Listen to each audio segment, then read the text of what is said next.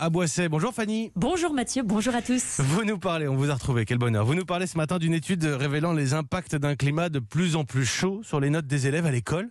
Alors que ce mois de septembre vient d'être répertorié comme étant le mois de septembre le plus chaud jamais enregistré à l'échelle mondiale, des chercheurs se sont penchés sur la relation étroite qu'il y aurait entre les résultats scolaires et le changement climatique. La corrélation est très clairement établie. Plus les températures sont élevées, moins bons sont les résultats scolaires, selon cette étude universitaire menée par Harvard, UCLA et euh, Georgia State, sur près de 10 millions d'élèves tout de même. Ce sont les, facultés cognitives des, des jeunes qui seraient alors altérées c'est bien ça, l'exposition à la chaleur perturbe la concentration et donc les facultés intellectuelles. Ça paraît évident, on a tous expérimenté d'ailleurs l'inconfort des fortes chaleurs qui peuvent nous ralentir au travail, voire nous mettre à l'arrêt.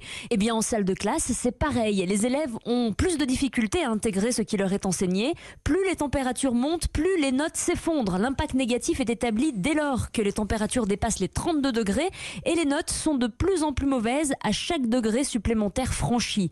C'est d'autant plus le cas lorsque la chaleur est durable et se répète sur de longues périodes sur une scolarité.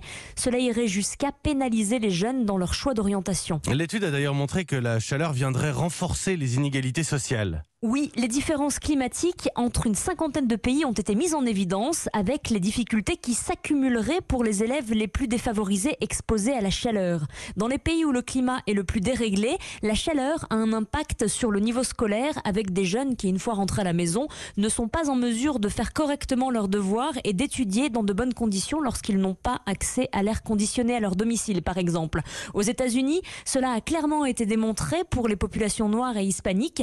Un qui, une fois de plus, montre que le changement climatique affecte en priorité les populations déjà fragilisées et les enferme dans un déterminisme social où même l'école ne représenterait plus une chance de s'en sortir. Merci Fanny Agostini.